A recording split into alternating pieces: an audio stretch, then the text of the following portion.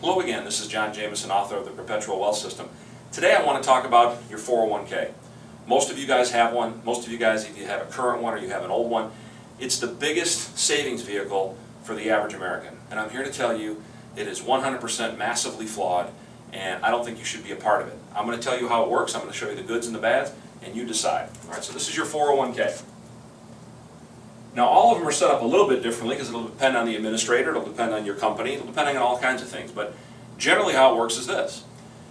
They will take a certain amount of money out of your paycheck automatically and they're going to put it inside the 401k and then they're going to take that 401k money, usually your employer, who's ever handling the account for the employer, and they're going to turn it over to a money manager and they're going to put it inside mutual funds.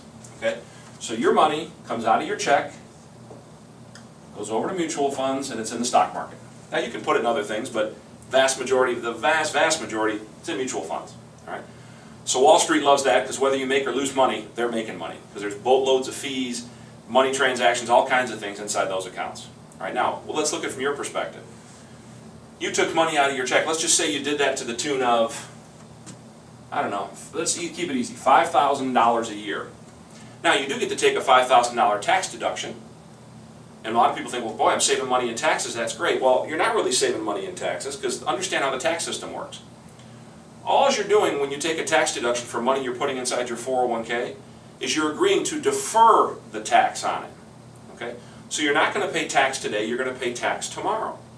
Now, the reasoning is, well, when you go to retire, you, the rates are going to be lower, so you'll pay less money.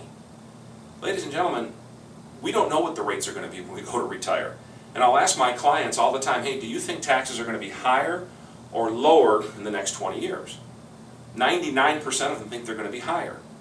So when I ask them, okay, if you truly believe they're going to be higher, why are you agreeing to defer your tax at what you think is going to be a lower amount today to later on down the road when you think the rate's going to be higher, why are you agreeing to do that? And they'll look at me.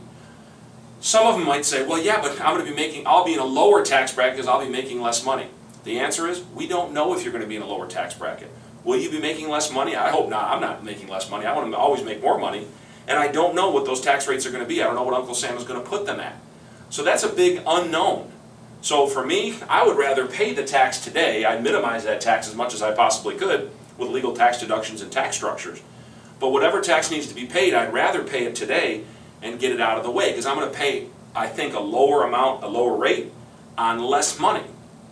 Because as that money gets put in every year, and let's just say it does grow a little bit over time, and it grows to $200,000, a lot of people, they tell me, well, I've got 200000 in my 401k, and I'll tell them, well, no, you really don't. Because remember, that money hasn't been taxed yet. The income wasn't taxed, nor any profit hasn't been taxed. So, I don't know what the rates are going to be, but let's just say they're dirt low, they're 10%. Right? Now here, you were going to pay 30%. But here you're going to pay 10%. But see, it's 30% of a much smaller number.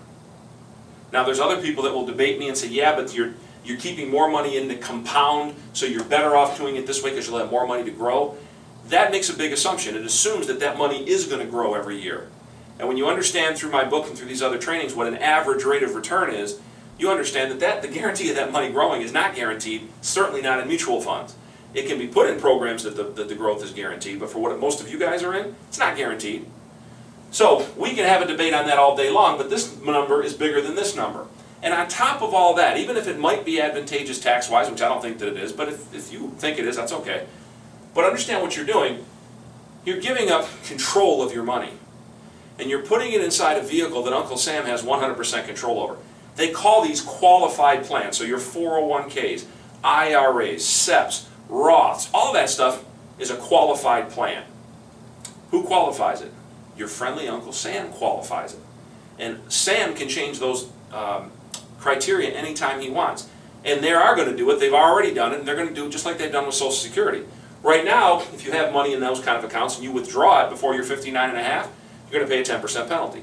Look for that penalty to go strongly up because they don't want you taking the money out.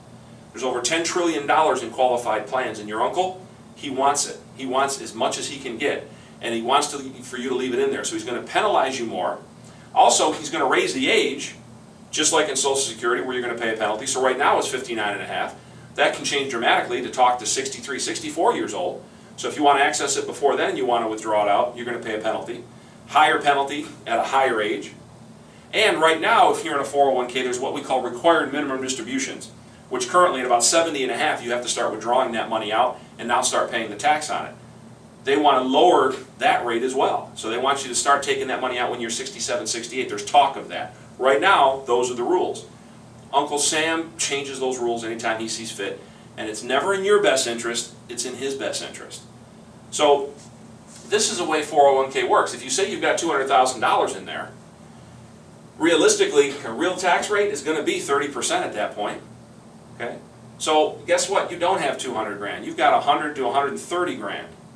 That's a big difference. Where if you paid the tax and got it out of the way and actually put it in a vehicle that actually did grow and compound every year, and you could access it tax-free at the end, you're far better off. That's what a Roth account does.